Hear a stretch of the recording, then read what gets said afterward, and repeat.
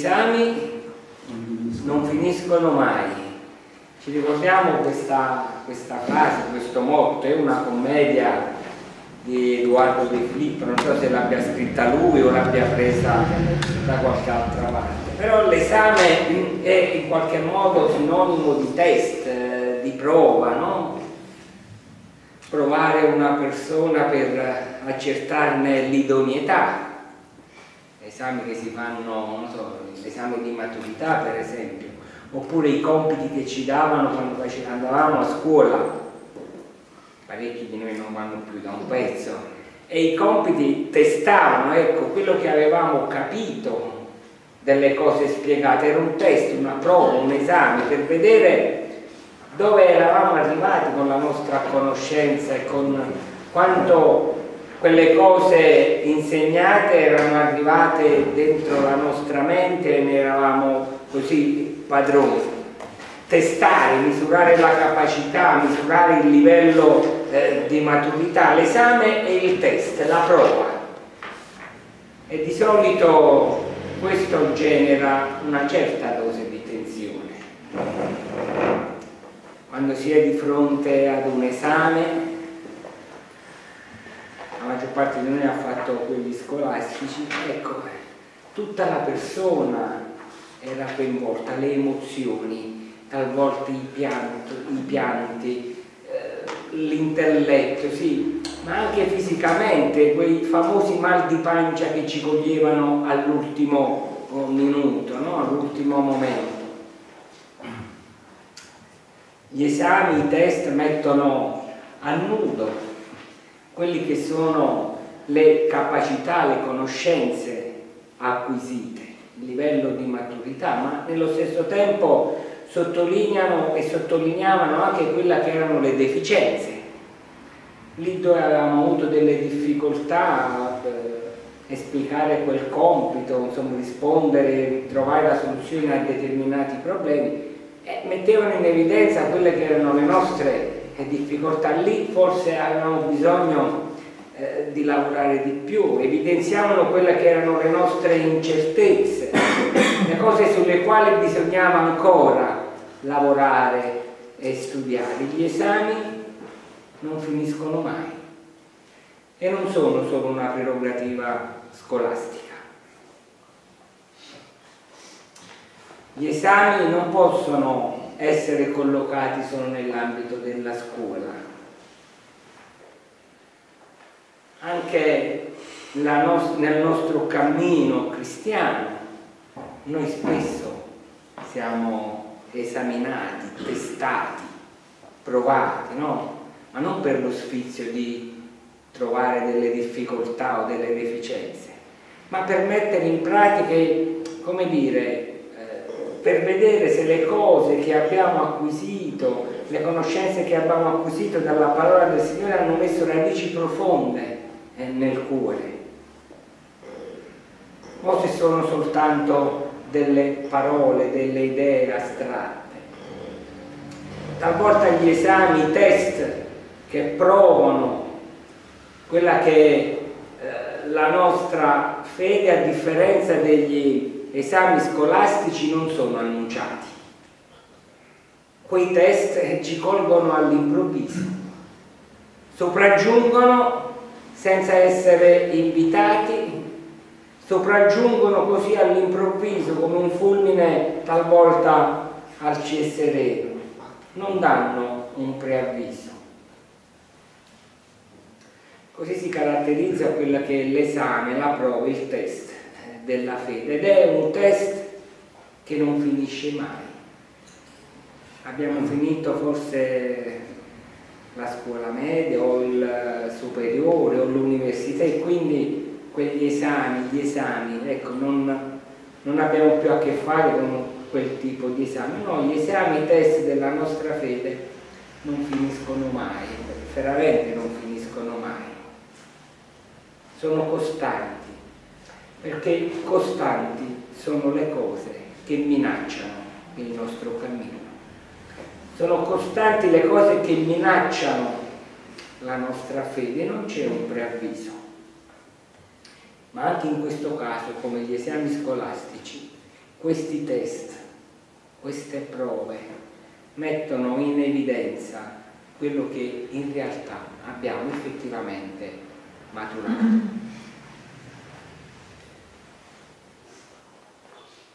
Noi pratichiamo, dice il Signore Gesù, non le cose che abbiamo detto e basta, ma le cose che sono scese nel cuore sono le nostre convinzioni, le convinzioni che ci vengono eh, dalla parola eh, del Signore.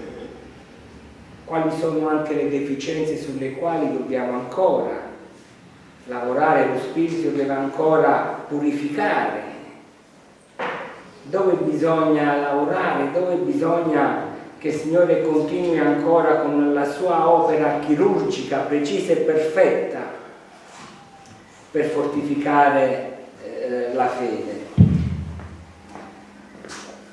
Giacomo dice di considerare come argomento di completa allegrezza no? le prove svariate in cui veniamo a trovarci. Come si possono considerare argomenti di completa allegrezza le prove nelle quali noi veniamo a trovarci. Perché quelle fortificano la fede, quelle ci fanno capire la cura e la protezione di Dio, che anche se noi non la vediamo, Dio non viene meno. Consideratelo come argomento di completa allegrezza, di anche più grande della tentazione, come dice Corinzi, capitolo 10, in cui possiamo venire a trovarci anche in quel caso. Ci istruisce circa la via, la condotta eh, da tenere. Spesso le minacce alla fede non sono così forti, no? altisonanti che fanno rumore, dinanzi alle quali forse le nostre risposte sarebbero altrettanto forti. Ecco, se io dicessi a ciascuno di voi, rinneghi tu stamattina il Signore Gesù, anche con la tortura, con altre cose simili, nessuno di noi, secondo me, nessuno di noi direbbe sì, io lo rinnego. Dinanzi a delle forti pressioni, ecco, noi rispondiamo sì con risposte abbastanza forti, ma talvolta la nostra fede, nel nostro cammino cristiano, le nostre convinzioni sono messe alla prova da cose molto sottili, trasparenti talvolta, subdole, che possono in qualche modo insinuarsi e compromettere il cammino, che possono mettere in discussione quelle che sono le promesse del Signore il testo che leggeremo stamattina ci illustra in qualche modo alcune di queste minacce che hanno colpito l'uomo che aveva ricevuto una promessa. Così vogliamo leggere dalla parola del Signore nel libro della Genesi, dal capitolo 13, i primi Genesi, capitolo 13, dal verso 1 al verso 18.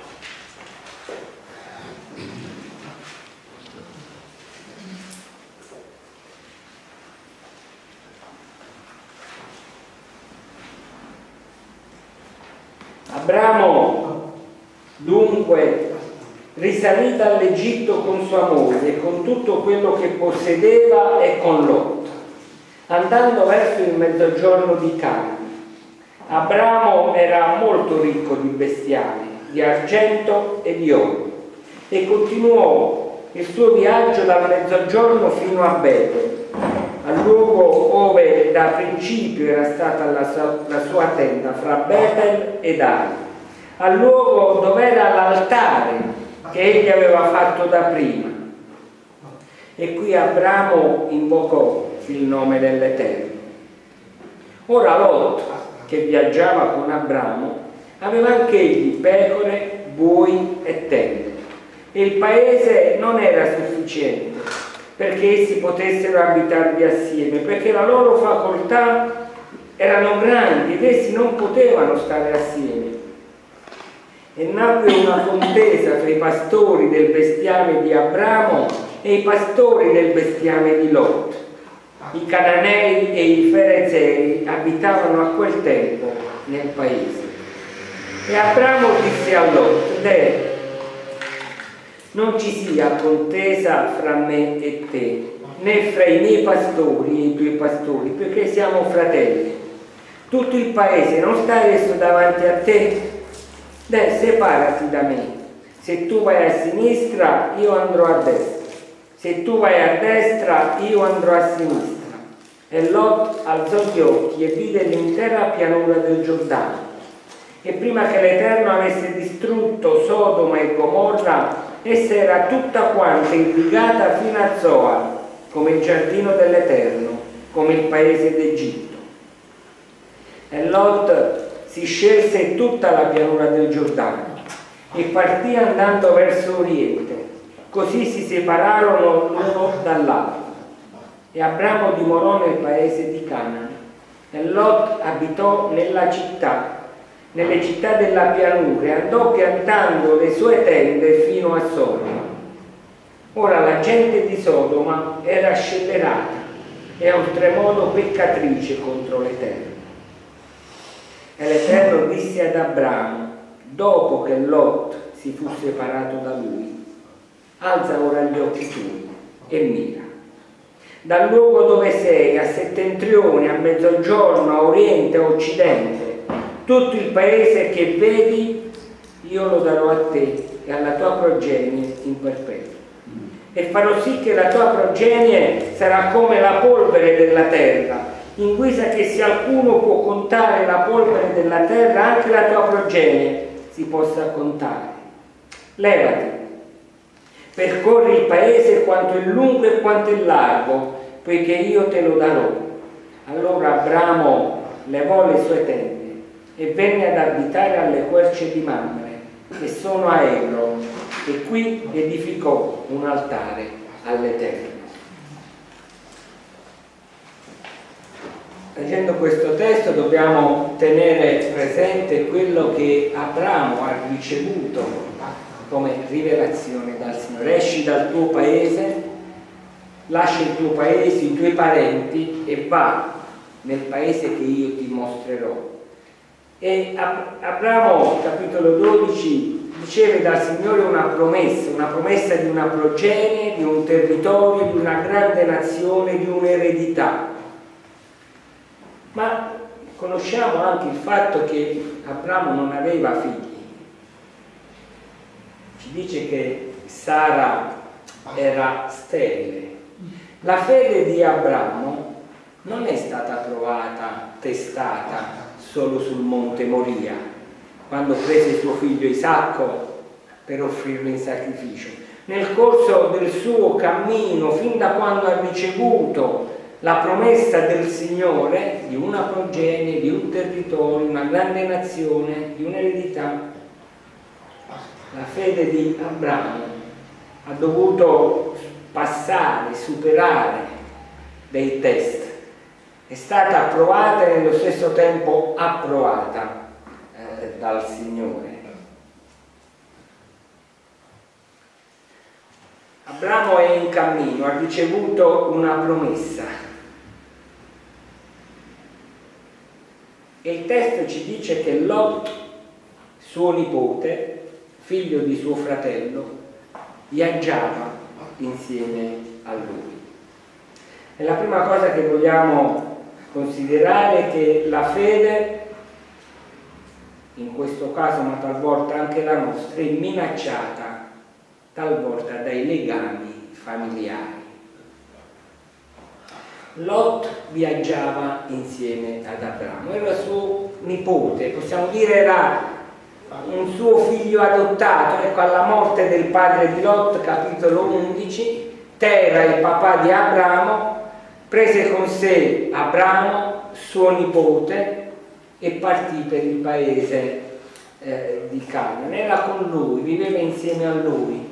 Anche lui aveva un'eredità lasciata da dal padre che morì Lot, era il parente più prossimo di Abramo.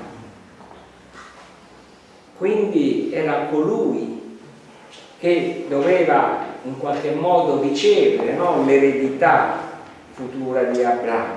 Era il parente più prossimo ed era logico per Abramo pensare dopo anni ed anni ed anni ancora di sterilità.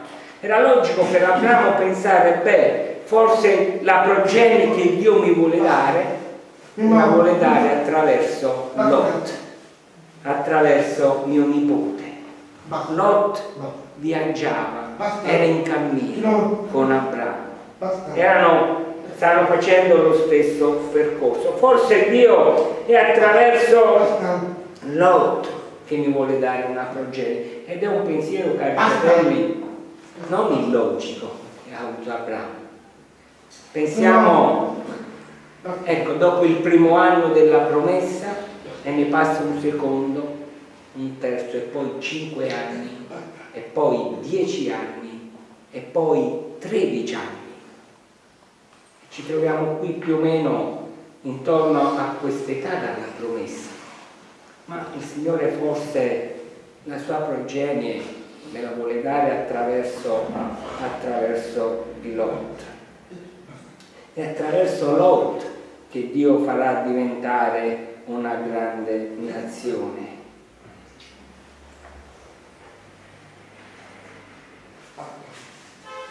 Più avanti leggiamo in questo percorso che dopo che Dio separò Lot da lui, dice, no Abramo è a te che darò una progenie, a te che darò.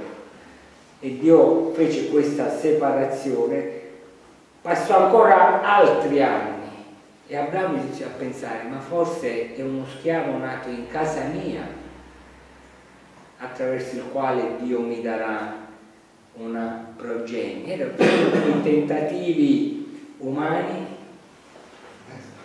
o li pensiamo anche a come delle vie di fuga, no?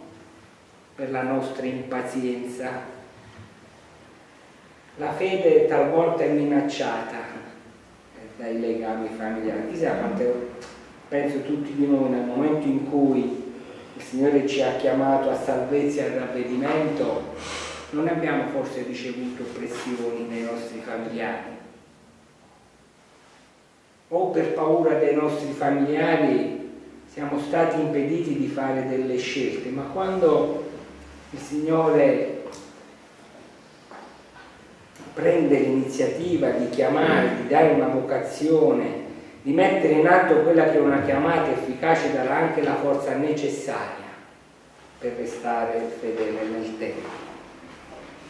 Quando si è provati, si è testati, c'è la responsabilità della risposta. E qui la responsabilità della risposta di questo test è la separazione da apportare. forse Abramo aveva messo tutta la sua fiducia in Lot, ma Dio crea delle condizioni per cui bisognava operare una separazione. La separazione non è sempre facile da fare, ci sono dei legami forti come quelli familiari e non è sempre facile da fare. Verso 8 Abramo disse a Lot non ci sia contesa te e me i tuoi pastori e i miei pastori ecco separiamoci tu andrai da una parte e andrò dall'altra scegli tu dove andare e cosa accadde dopo questo test che Abramo passò no? Allora se ci separiamo non è più in Lot che Dio mi vuole dare una progenie ritorna ancora questo sogno questa promessa di Dio e dopo l'esercizio di questa responsabilità da parte di Abramo, il Signore si rivolge ancora ad Abramo e c'è il rinnovo della promessa. Alza ora gli occhi, alza di nuovo gli occhi. Possiamo immaginare in qualche modo, ok, le mie certezze, la mia fiducia che era posta in Lot, ora non c'è più. Lot è andato via, c'è stata una separazione Possiamo in qualche modo pensare allo sconforto, ma allora ecco, la promessa di Dio non è vera? una progenie, una grande nazione.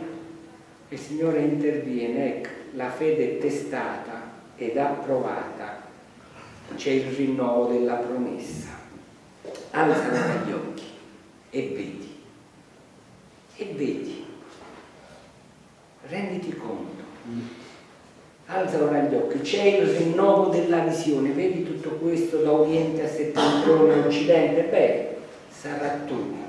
C'è una nuova prospettiva, c'è una nuova forza per proseguire. C'è questo passaggio, c'è questo riferimento anche all'altare, no? a questo incontro con Dio, là dove i patriarchi incontravano, dove Dio dava delle rivelazioni particolari, costruivano un altare. E Abramo poteva girarsi indietro e vedere l'altare nei quali Dio si era presentato alla sua vita e gli aveva parlato. Alza ora gli occhi, vedi. C'è questo rinnovo della promessa e dice allora Abramo levò le sue tende. C'è questa nuova dinamicità levò le sue tende e venne ad abitare e qui edificò un altare ancora al Signore. C'è questa nuova eh, dinamicità. La fede provata minacciata dai legami familiari testata passata alla prova, provata da Dio, il quale rinnova di nuovo la visione del suo volto e incoraggia a proseguire il cammino. Noi non siamo esclusi da queste minacce, dalle minacce che si presentano all'improvviso come un fulmine a ciel sereno nella nostra vita.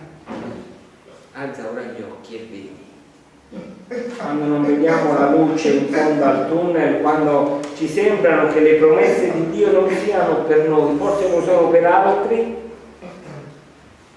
alza ora gli occhi e vedi, cammina alla mia presenza e si integro, era l'esortazione di Dio ad Abramo. Ma la fede non è minacciata in questo testo solo dalla da questi legami familiari, no? La fede è minacciata anche dalla sua ricchezza. Verso 5 e verso 7 che abbiamo letto. Ora Lot che viaggiava con Abramo aveva anche egli pecore, buoi e tende. Il paese non era sufficiente perché si potessero abitare assieme, perché le loro facoltà erano grandi ed essi non potevano stare assieme. Abramo e Lot erano molto ricchi, avevano dei grandi possedimenti, ma nel testo, nel capitolo 13, dice che il paese non era sufficiente perché essi potessero abitare insieme. E non solo, dice che a quel tempo, oltre a Lot e ad Abramo, c'erano i i cananei, i ferzei che abitavano il paese, il paese non era sufficiente per loro. Signore, ma tu non mi hai promesso una grande nazione, una nazione senza confini, una proprietà, un territorio infinito sul quale poteva vivere pienamente una progenie che non si poteva contare perché era come l'arena del mare. Io mi trovo di fronte adesso nella mia vita reale a vivere in un paese che non è sufficiente né per me né per Lot. La sua fede era minacciata anche dalla sua ricchezza. La Bibbia non demonizza la ricchezza, eh? non demonizza il denaro. Il denaro non è qualcosa di sporco di cui purtroppo non ne possiamo fare a meno la Bibbia condanna l'atteggiamento dell'uomo verso il denaro. Là dove il tuo tesoro è anche il tuo cuore, eh, questo non va, non è gradito. Anche il Signore Gesù ha condannato l'atteggiamento degli uomini nei confronti delle ricchezze. Paolo parla nelle sue lettere di amore per il denaro, è l'amore per il denaro è la radice di ogni sorta di mali, dice a Timoteo. Gesù condanna le speranze che gli uomini mettono nelle ricchezze e nel denaro. Il ricco si deve gloriare non della sua ricchezza, dice il profeta Osea, ma che conosce meno, dice il Signore. Ora se è vero come è vero che la Bibbia non condanna la ricchezza, allora in che senso la fede di Abramo è messa alla prova dalla sua ricchezza? Perché in questo caso mette in evidenza quanto sia limitato la sua libertà nella terra promessa. Il paese è insufficiente. Riporta alla mente questa promessa del Signore di un grande territorio, ma la realtà gli dice che non c'è un grande territorio. E sono passati ancora degli anni e altri anni ancora. Un paese, una grande nazione. Queste cose ecco, cozzavano con la realtà che in quel momento viveva Abramo.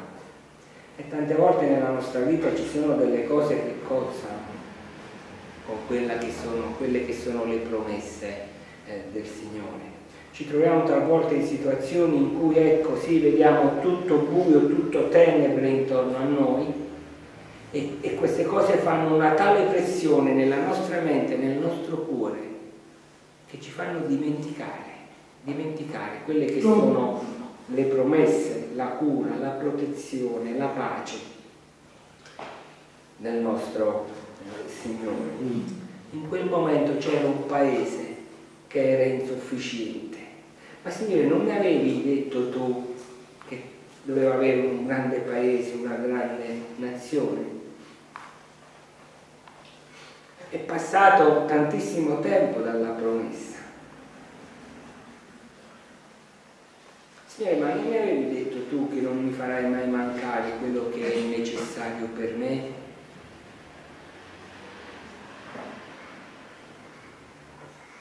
La fede talvolta è minacciata, così come in questo caso la fede di Abramo è stata attestata anche dalla sua ricchezza, anche dalla sua ricchezza. Una terza cosa che vogliamo vedere insieme La fede talvolta è minacciata anche dall'impazienza, anche dall'impazienza. Dopo tanti anni ormai la possibilità di assicurarsi la promessa, la pro prosperità della terra, ma sì, forse è questa la terra che il Signore ci ha voluti dare, C'è una separazione tra Lot ed Abramo. Abramo invita Lot a fare una scelta e Lot sceglie la cosa più semplice, più facile. Ecco, sceglie la pianura del Giordano, una terra fertile, non c'era bisogno di affaticarsi di portare il bestiame lontano per farlo mangiare o per farlo abbeverare. Lì in quella pianura c'era tutto, molto fertile, come il giardino di Dio, il paese d'Egitto. E questa è la scelta che eh, Lot fa. Abramo poteva dire a suo nipote, beh, questa è la parte migliore, del paese, io stazionerò qua, c'è il fiume, c'è eh, la vegetazione, c'è poco lavoro da fare. Lot aveva in qualche modo fatto la sua scelta, Abramo poteva come dire, rispondere all'impazienza al passare del tempo cercando una terra dove scorre il latte e miele prospera,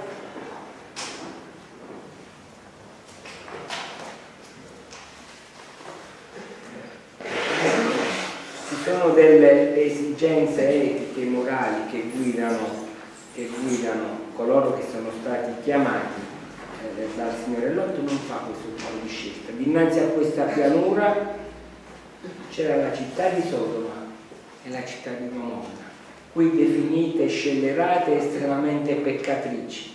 E Lot pianta le sue tende lì, in quella pianura, e pian piano le sue tende vanno ad avvicinarsi a quelle città scellerate e peccatrici.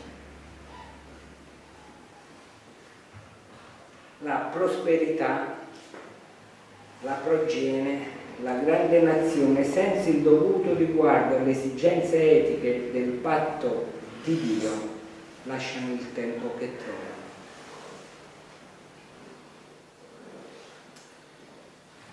Abramo superò, superò questo test. Hai scelto la pianura, ok, la terra è di Dio, colui che ha promesso una grande nazione, un territorio. Ma Abramo aveva ricevuto dal Signore anche un'esortazione particolare e precisa. Va dove io ti mostrerò e Dio non aveva ancora mostrato nulla. Aveva in mano delle parole, una rivelazione, una promessa e il Signore dice soltanto cammina alla mia presenza e si integra cammina alla mia presenza e integra. Talvolta l'impazienza di attendere, ecco, eh, le risposte del Signore, la guida del Signore, l'apertura di qualche porta da parte del Signore ci porta a venir meno a quelle che sono le esigenze etiche del patto e del cammino cristiano.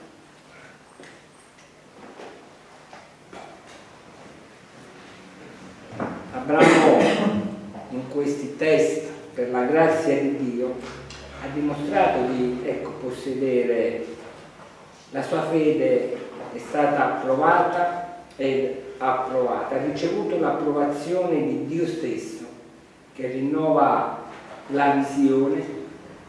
Abramo levò le sue tende e si rimette in cammino. Da che cosa stamattina, in questo tempo, la nostra fede è provata e testata.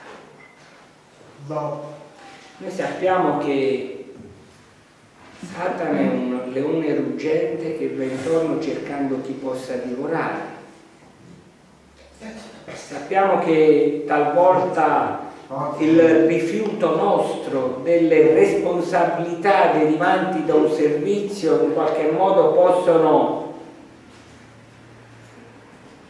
inserirsi nella mente e nel cuore e dire voglio meno responsabilità, voglio avere più libertà, non mi conviene fare questo e fare quest'altro. E si cercano così eh, vie di fuga. Da che cosa la nostra fede è testata e provata in questo tempo? Forse talvolta è così trasparente e subdola la minaccia che stiamo subendo, no? Che noi non riusciamo a capire a vedere bene, però possiamo avere la certezza che Dio sa da che cosa è minacciata la nostra fede. Dio sa quali sono i dubbi che vogliono insinuare determinate realtà che viviamo, determinati pensieri. E Dio sa anche qual è il motivo che sta dietro, che muove, che alimenta dei pensieri. Allora noi vogliamo stamattina insieme chiedere al Signore, sì Signore ci rendiamo conto e sappiamo che il cammino cristiano non è facile, la sequela di Cristo alla quale siamo stati chiamati non è affatto semplice, che ci sono dei combattimenti, ci sono dei test da fare, ci sono dei test da superare per essere poi così approvati dal Signore. Talvolta non sappiamo che cosa ci sta minacciando, ci sta provando, non abbiamo questa logicità, abbiamo bisogno del discernimento e dell'azione eh, dello Spirito Santo. Però possiamo avere l'atteggiamento che ha avuto qui Abramo. Il Signore ha rinnovato la visione del suo volto. Alza ora gli occhi e vedi. Alza ora gli occhi e guarda di nuovo la realtà con la prospettiva che io ti do. Con la prospettiva che io ti do. Alza ora gli occhi e vedi tutto questo paese lungo e largo, questo sarà tuo. Non sarà Ismaele, non sarà Lotto, non sarà Ismaele, ma in Isacco io ti darò poi una progenie. Il Signore ci dia discernimento,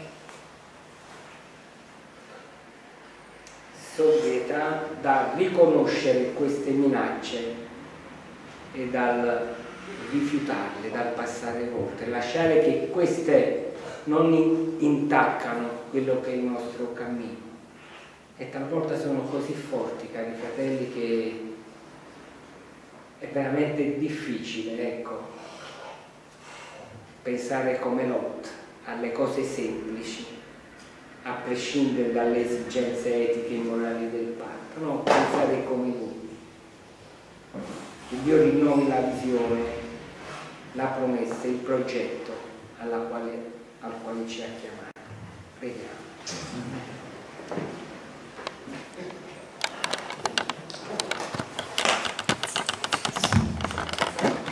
Noi possiamo riposarci pienamente, Signore, nel fatto, Signore, che nulla può coglierti di sorpresa. Tu sei anche più grande del nostro cuore. Talvolta il nostro cuore malvagio, Signore, medita, pensa delle vie, Signore, semplici, facili.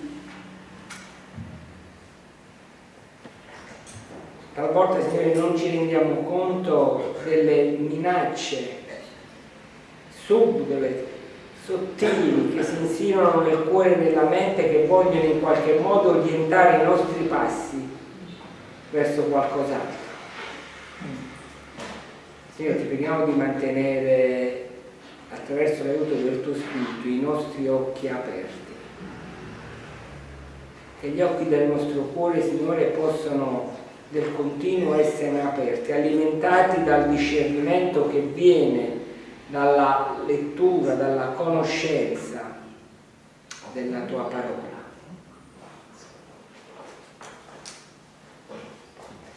Ti ringraziamo Signore che anche attraverso i test, le prove, gli esami, anche attraverso Signore talvolta le cadute, tu fai cooperare al bene anche quelle per il nostro bene, per il continuo del nostro cammino.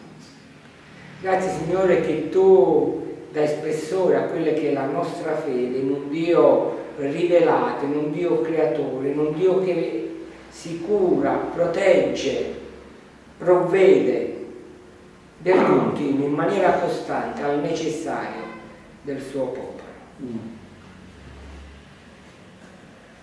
Ecco Signore, questa Chiesa è nelle tue mani. Amen tu sai fare molto, molto al di là di quello che possono fare gli uomini. E grazie che in virtù della vittoria di Gesù Cristo le porte dell'Ades non la possono vincere. Allora Signore noi vogliamo ecco, levare le nostre tende, rimetterci in cammino, alzare gli occhi, osservare la realtà con una nuova prospettiva che ci viene dalla rivelazione della tua parola. ti preghiamo di rinnovare la visione del tuo volto, di rinnovare, Signore, e farci vedere il progetto al quale tu ci hai chiamati a partecipare in maniera attiva, dinamica, con passione, per la gloria del tuo nome. Nel Signore Gesù ti preghiamo. Amen. Amen. Amen.